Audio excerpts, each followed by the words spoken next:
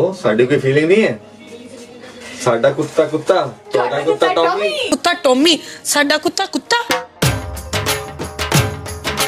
ये guys welcome back to our channel Kapil भाई nature कैसा चल रहा है आपका नया साल तीन दिन तो हो गए हैं और आज जो बारिश हुई है दिल्ली में ओए ओए रुकने का नाम ही नहीं ले रही सुबह से नॉन स्टॉप होती जा रही है बहुत ठंड भी हो गई है और उसका एक रीज़न है मुझे ये लगाना पड़ गया रुमाल क्योंकि जितने भी मेरे मास्क थे सब धो दिए और अभी तक कोई सूखा नहीं है मुझे लोकल मार्केट जाना था तो मैंने कहा, यही पहन के चलते हैं. बहुत टाइम के बाद, बहुत महीनों के बाद कोई फ़ंक्शन का इनवाइट आया है तो अपना सूट वूट रेडी कर रहे हैं। मैंने कहा ड्राई क्लीन करा लूँ उसको, ताकि टाइम से मिल जाए और फ़ंक्शन के लिए हम रेडी हो जाए. तो ये मेरा ऑल पर्पज सूट इसको ऑफ़िस मीटिंग्स में पहन लो या किसी फ़ंक्शन के लिए वैसे ही पहन लो। दोनों में बढ़िया काम आता है। और इसके साथ जो मैंने शर्ट लेनी है, मैंने ऑनलाइन ऑर्डर कर दी है वो दो तीन दिनों में आ जाएगी।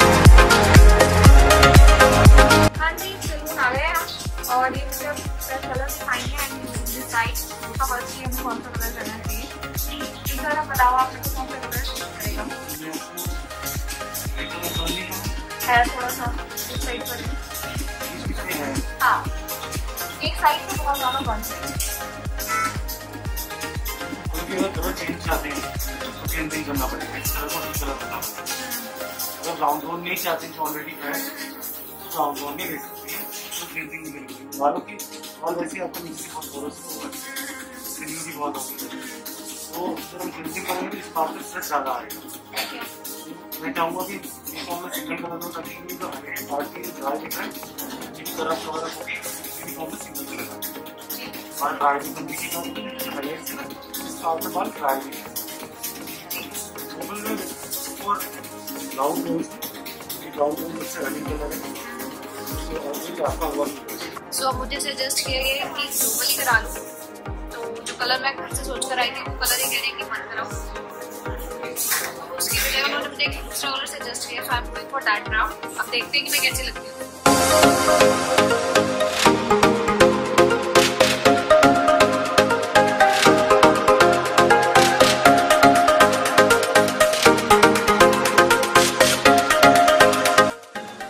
लग रहा है कोई डिफरेंस लग रहा है अच्छे लग रहे हैं। वो लगभग चार घंटे लगे।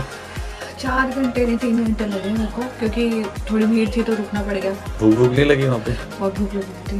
वो तो कह रहे थे कि आप आपको सैंडविच मंगा के दे देते कॉफ़ी देते थे के देते मैं पहले कहती मुझे भी कुछ नहीं खाना ये था कि फटाफट घर भाग गया क्योंकि हल्की हल्की बारिश तब शुरू हो चुकी थी तो मुझे था कि जल्दी घर आ जाना खा लिया था आगे पनीर का है बारिश हो रही थी ना तो पनीर ले लेते तो पनीर का प्लान कैंसिल यस आप ले क्यों अब बारिश नहीं आ रही?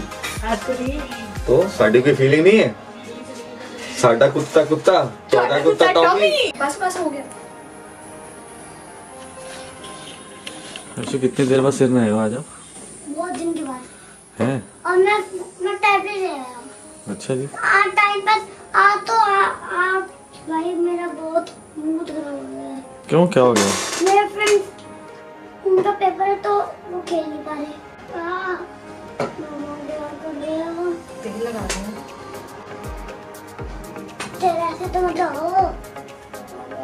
साइकिलिंग के लिए दे दो दिन में देगा वो।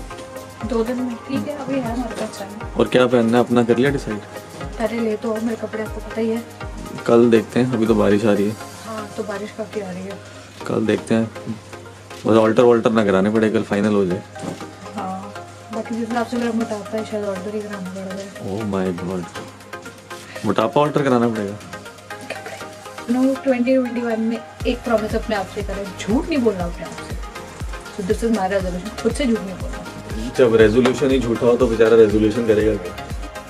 चलो दूध पी लो। एक खा लो एक खाने दो। चिप्स को रख दो दूध पी लो। एक लास्ट ये ये खा के देखो ये वाली चीज़ ये मुझे आने के पार्टी में मिले थे। ये चटपटा है यार चटपटा। एक मेरे मुँह में डाल दो।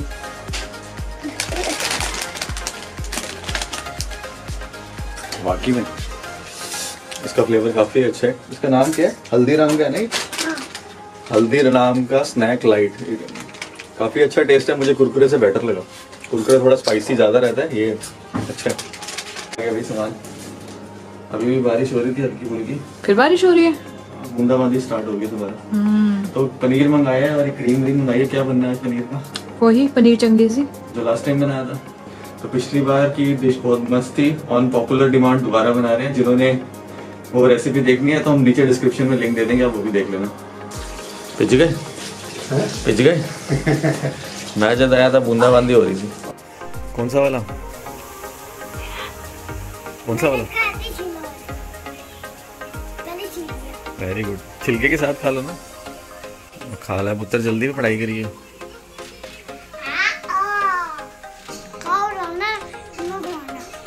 खाओ बनाना नो बहाना। हाँ। क्या देख रहे हो? मैं कार्टून देख रहा हूँ। तो देख रहे हो। मैं भी अपना कार्टून देख रहा हूँ।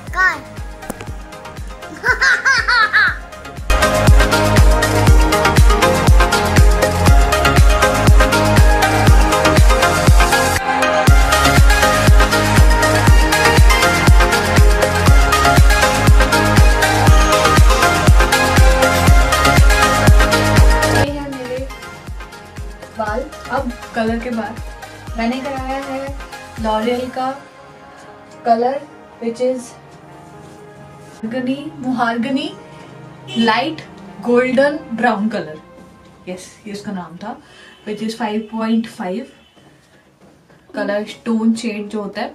बाकी मैं इतना बोलूँगी कि ये जो मैंने कलर करवाया है, इसके बाद मेरे बालों, उस, इस कलर को कराने का रीज़न सिंपल ये था कि मैंने पहले कराई हुई थी हाइलाइट्स और नीचे की तरफ़ जो मेरे बाल थे, वो बहुत ज़्यादा डैमेज हो गए थे। तो जिसके लिए मैं पैक भी लगा रही थी बट फिर घर पे फ़ंक्शन है तो मैंने सोचा कि क्यों ना थोड़ी सी अपनी लुक बदली जाए, बालों का कलर चेंज किया जाए तो मैंने ये कलर करवाया। और आज जब मैं कलर करवा रही थी तो उन्होंने मेरे को तीन चार टिप्स दिए हेयर टिप्स दिए, जिसमें से पहला टिप तो ये था कि every time when you do shampoo use conditioner और अ गुड हेयर मास्क बहुत ज़रूरी है हम लोग अवॉइड करते खैर, मैं अवॉइड करती हूँ, मुझे नहीं पता आप लोगों को but generally people don't prefer to do conditioner then उसका रीज़न मेन क्या है कंडीशनर करने का या हेयर मास्क मास्क लगाने का मेन रीज़न क्या होता है कि जब आप शैम्पू करते हो तो आपके जो स्कैल्प है और जो हेयर है, उनके पोर्स जो है वो ओपन हो जाते हैं। और जो कंडीशनर है, या हेयर मास्क है, वो आपके पोर्स को क्लोज करने में हेल्प करता है और जो आपके बालों का कलर है, उसको ग्रे नहीं होने देता। जो हम कहते हैं ना अर्ली ग्रेज को अगर आप जल्दी जल्दी इन द कि अगर आप चाहते हो कि आपको अर्ली ग्रेज की प्रॉब्लम ना हो बिकॉज़ आजकल ये प्रॉब्लम है, सबको ही है तो उससे बचने के लिए आपको शैम्पू के बाद कंडीशनर लगाना बहुत ज़रूरी है। And the most important thing is कि जो आपका शैम्पू हो प्रेफरली वो शैम्पू सल्फ़र फ्री हो। सल्फ़र एंड पैराबन फ्री हो, ताकि आपके बालों को शैम्पू ही ना डैमेज कर रहा हो। एक तो उन्होंने ये मुझे टिप दी, दूसरा उन्होंने मुझे कहा कि अपनी डाइट अच्छी रखो। डाइट के अंदर प्रोटीन अच्छी रखो तो आपके बालों में डैमेज और कम ही होगी। क्योंकि मैं जो पैक लगा रही थी, उसकी वजह से बाल जो थे मेरे वो ऊपर से तो काफ़ी अच्छे नज़र आ रहे थे बट नीचे जो मेरे को प्रॉब्लम हो रही थी, वो थी डलनेस की, जो नीचे से ठीक नहीं हो पा रहे थे। तो उन्होंने फिर मुझे आज ये सजेस्ट किया कि आप थोड़ा सा अपनी डाइट को चेंज करो। Add fruits as well as protein in your diet जो बहुत इंपॉर्टेंट है। और एक उन्होंने जो मुझे टिप दिया था, वो ये था कि सबसे इंपॉर्टेंट चीज़ जो मुझे आज पता लगी है, मैं आप सबके साथ शेयर करना चाहूँगी। The important the most important thing is कि हम लोग कहते हैं, यार कैरा शाइन ट्रीटमेंट करा लेते हैं स्मूथनिंग करा लेते हैं, ये चल, ये ग्लोबल कलर करा लेते हैं। अगर मैं आपको सच बताऊँ तो मैं अपने दिमाग में जो कलर रख के गई थी, वो था कॉपर कलर एंड मेरे साथ क्या हुआ कि जब मैंने वहाँ जाके उनके साथ डिस्कस किया तो उन्होंने मुझे कहा कि मैम जो आपके बाल नीचे से है, नीचे से जो आपके बालों का कलर है दैट इज़ ब्राउन तो you go for the brown from roots to tip आप जो है, अपना ग्लोबल कलर लो ब्राउन कलर करवाओ सो so डैट आपके जो बाल है वो इवन लगने शुरू हों. आपके बालों पे कलर भी आपके बालों के स्ट्रेंथ के हिसाब से चढ़ता है। अगर आपके बाल मोटे होंगे, अगर आपके बालों के अंदर वॉल्यूम अच्छा होगा तो आप कोई भी कलर करवा सकते हो। बट अगर आपके बालों के अंदर वॉल्यूम नहीं है, वो ऑलरेडी डैमेज है, या फिर आपने कोई और ट्रीटमेंट करवाया हुआ है उनके ऊपर हाईलाइटिंग कराई हुई है then first of all you need to go for a global ताकि आपके बाल सारे इवन हो जाए। मेरे बालों में क्या इशू था कि ऊपर से तो काफ़ी सही थे, काफ़ी अच्छे थे। मेन इशू था यहाँ नीचे से। इतनी जगह से काफ़ी ज़्यादा वो डैमेज फील हो रहे थे, हाथ लगाने में बहुत ड्राई फील कर रहे थे। तो फिर उन्होंने मुझे सजेस्ट करा। फिर हम कहते हैं कि जी, हम कैरा शाइन करा लेते हैं, या फिर आप स्मूथनिंग करा लेते हैं। जैसे जनरली हम लड़की आपस में बात करते हैं तो मेरे मन में भी था तो मैंने उनसे पूछा, उन्होंने मुझे स्ट्रिक्टली मना कर दिया।